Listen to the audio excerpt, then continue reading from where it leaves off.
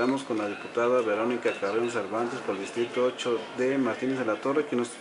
comentará un mensaje para la mujer veracruzana que se ha sabido ganar un lugar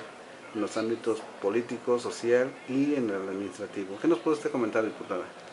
Bueno, pues antes que nada agradecerte muchísimo la oportunidad de hacerles llegar un saludo muy afectuoso a todas las amigas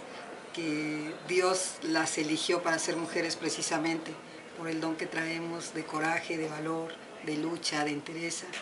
de ternura y de amor. Entonces, pues las bendiciones de hoy y siempre para todas las mujeres, sin importar edad, condición económica ni condición social, la intención es de que hoy más que nunca tengamos la oportunidad de estar unidas y que esa unidad haga la fuerza y que sobre todo ahorita estar aquí con la oportunidad de ser la voz de ellas, que cuenten con una aliada y una amiga más en el Congreso del Estado. Muchísimas felicidades y muchas bendiciones.